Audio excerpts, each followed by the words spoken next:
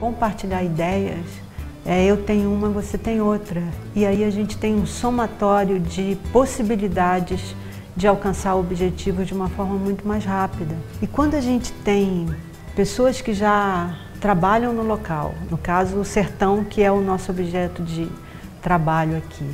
Quando você tem pessoas que podem sustentar esse trabalho, mesmo não estando lá, mas são igrejas que podem apoiar, ou instituições que podem divulgar, são coisas extremamente importantes, né? São espaços que a gente precisa priorizar, porque é assim que o reino de Deus pode expandir e chegar muito mais fácil àqueles que ainda não foram alcançados.